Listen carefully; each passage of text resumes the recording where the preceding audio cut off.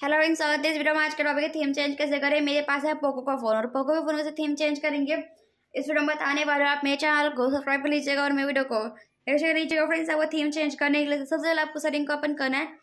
इसके बाद आपको यहाँ पे सेंटर वाइज आपको थीम पे जाना है। इसके बाद आपको यहाँ पे थीम जाने के बाद यहाँ पे आपको ऐसे थीम देखने को मिलेगा। आपको जो थीम डाउन करना है वो कर लेंगे।